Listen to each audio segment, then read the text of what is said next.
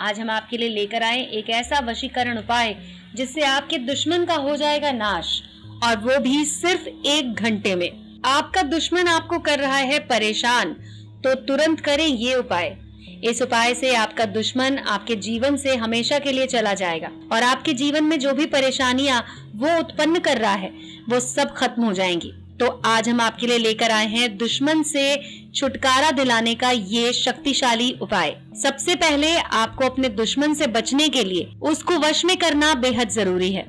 तो आज हम आपको बताने जा रहे हैं एक ऐसा मंत्र जिससे आप अपने शत्रु को अपने वश में कर पाएँगे। जी हाँ इसके लिए आपको एकांत में रात के समय किसी दीवार पर अपने शत्रु का चित्र बनाना होगा। शमशान का जलता हुआ कोयला अपने पास में रखें और इस मंत्र का जाप एक हज़ार आठ बार करें। ये मंत्र है, ओम नमो आदेश गुरु का, हनुमंत बलवंता, माता अंजनी का पूत हल हलंता आओ चढ़ चढ़ंता आओ गढ़ किला तोड़ंता, आओ लंका जलंता, बालंता भस्म कंता आओ ले लागुम लंगूर ले लिपटाए सुमिरते पटका, ओ चंदी चंद्रावली भवानी, मिल गावे मंगला नाचार, जीते राम लक्ष्मण, हनुमान जी आओ।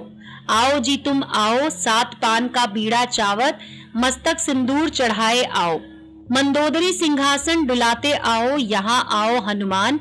आया जागते नरसिंह, आया आगे भैरव किलकिलाया। ऊपर हनुमंत गाजे दुर्जन को फाड़, अमुक को मार संहार। हमारे सतगुरु, हम सतगुरु के बालक, मेरी भक्ति, गुरु की शक्ति। पूरे मंत्र ईश्वरो वाचा। अमुक की जगह पर आपको अपने दुश्मन का नाम बोलना है। जब आपका जाप पूरा हो जाए तो शमशान का कोयला शत्रु आकृति के जिस अंग पर रखेंगे, शत्रु का वो अंग जलने लगेगा। इस उपाय को कभी भी दुर्भावना से प्रेरित होकर ना करें।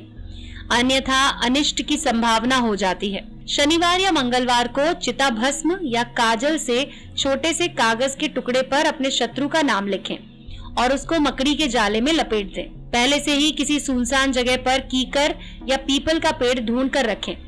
उस पेड़ के नीचे गड्ढा खोदे और एक छोटी सी हांडी में ये कागज़ मुट्ठी भर साबुत काली उड़द की दाल और मुट्ठी भर चावल रख दें। अब एक नींबू लें और उस पर भी अपने शत्रु का नाम लिखकर सांकेतिक आकृति बना दें। शत्रु को याद करते हुए इस मंत्र का जाप करें। ओम ह्रीम ह्रीम विकट भैरवाय मम शत्रु नाशाय नाशाय त्रासय त्रासय ताड़य ताड़य हीम हीम हीम, फट। इस मंत्र को पढ़ते हुए नींबू पर सिंदूर छिड़कते रहे।